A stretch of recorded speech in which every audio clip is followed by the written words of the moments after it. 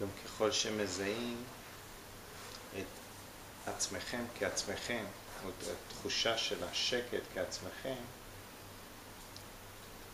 פתאום מתגלה שזה, שאתם זמינים לעצמכם בכל רגע.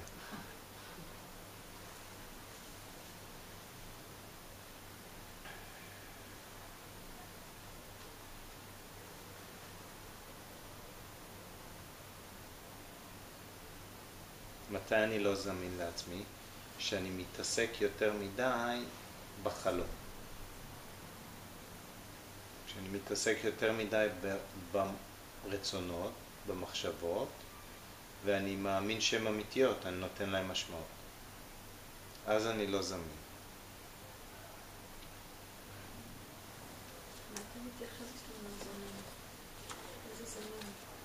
זאת אומרת, זה רק כאנלוגיה.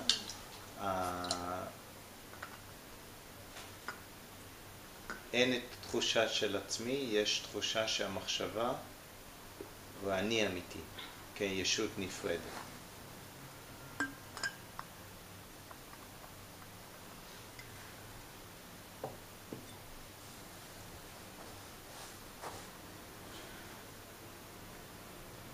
גם עוד דבר שהוא ככל שמפנים את המבט לחוש את עצמכם, אפילו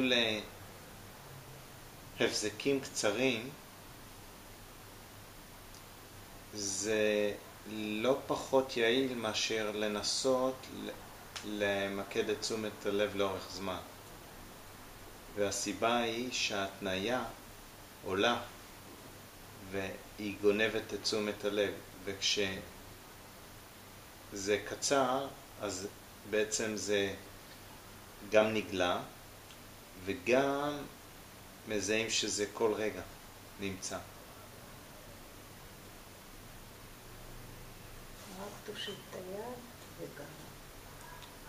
את אפילו לא יכול לא להושיט את היד, זה העניין.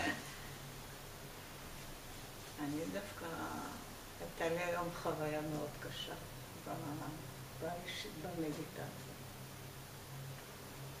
הייתי כל כך מוצפת, היתושים עקצו אותי, אז אנא זלל, שמעתי כל הזמן את ההוראות, ראש במרכז, לא להדק את הלסתות, כל מה שזה.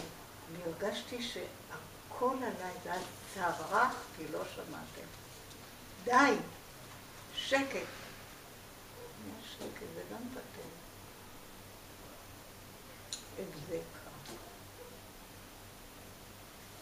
הצפה זה דבר טוב, זה בעצם זיכוך. זה ללמוד לשבת גם עם זה, להיות עם זה.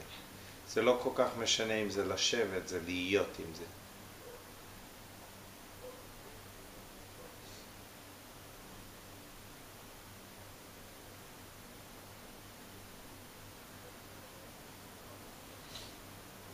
זה, זה עוד פעם התמסרות. השאלה למה? למחשבה או לעצמכם? או למחשבה או... לעצמכם. שזה התחושה.